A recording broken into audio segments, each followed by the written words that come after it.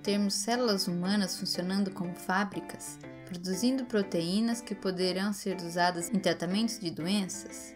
Proteínas bioterapêuticas são utilizadas no tratamento de várias doenças, como desordens autoimunes e hematológicas, desregulação hormonal, cânceres, doenças infecciosas e também desordens genéticas.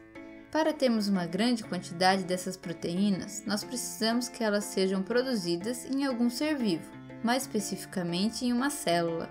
Muitos sistemas de expressão não humanos têm sido utilizados na produção de proteínas bioterapêuticas, como a bactéria E. coli, que pode produzir anticorpos monoclonais, além da vacina da meningite. Leveduras, como a Saccharomyces cerevisiae, podem produzir fatores de coagulação. Células de plantas podem produzir enzimas de interesse e células de insetos podem produzir vacinas, como a do HPV.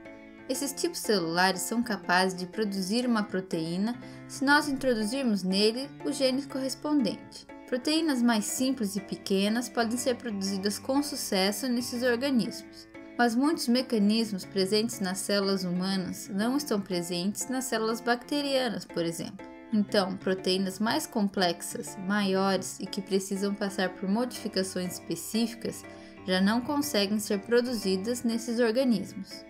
A maioria dos produtos bioterapêuticos atualmente licenciados são produzidos em células de mamíferos não humanos, uma vez que elas conseguem produzir modificações pós-traducionais semelhantes àquelas humanas. Essas modificações são eventos de processamento que alteram as propriedades das proteínas, e isso pode ser feito de várias maneiras, como pela clivagem, ou seja, a quebra da proteína, ou por adição de um grupo químico a ela, um exemplo de modificação é a glicosilação, onde acontece a adição de resíduos de açúcares na proteína. A glicosilação irá ocorrer no retículo endoplasmático e no complexo Golgiense. Essas modificações darão características importantes à proteína original.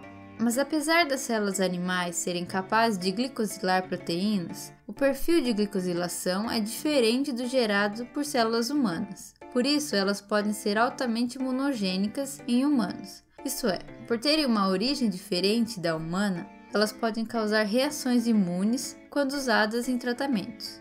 O sistema de expressão mamífero mais usado é a linhagem celular de ovário de hamster chinês. As células CHO produzem mais de 70% das proteínas recombinantes aprovadas, como anticorpos monoclonais, hormônios e fatores de coagulação.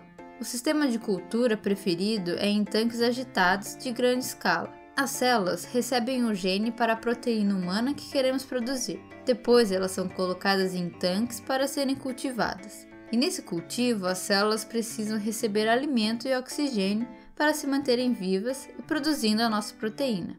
Depois, a proteína é coletada e purificada.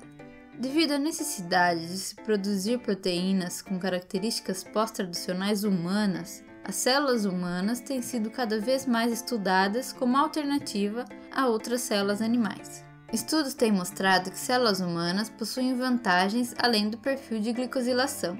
A linhagem celular de retinoblastos embrionários humanos, chamada PERC6, por exemplo, é capaz de produzir 10 kg de proteína purificada em uma operação de 500 litros, enquanto as CHO precisam de 11 operações de 500 litros. Um exemplo interessante de proteína humana recombinante que tem sido estudado aqui no Brasil é o fator 9 de coagulação, utilizado no tratamento da hemofilia B. Pesquisadores da Universidade de São Paulo conseguiram com sucesso produzir o fator 9 ativo em células SK-REP, mostrando que essas células hepáticas humanas também são uma alternativa como plataforma biotecnológica para a produção de proteínas recombinantes.